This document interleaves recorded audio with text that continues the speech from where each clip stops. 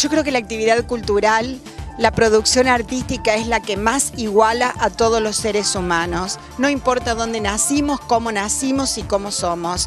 A la hora de la creatividad artística, esa producción, lo que sale, la obra de arte que sale de nuestra producción, nos iguala a todos.